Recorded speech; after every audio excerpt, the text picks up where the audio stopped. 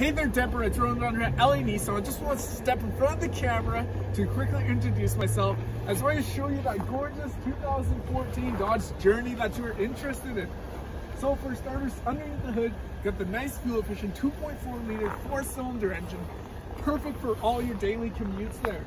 And on the side, you got those brand new all season tires with those nice alloy rims there. You got Dodge's keyless entry and that push to start button and a gorgeous cloth interior with their dual zone climate control, steering wheel mounted controls, Bluetooth, aux, and so much more. Moving to the back, you see have tons of space for rear passengers there.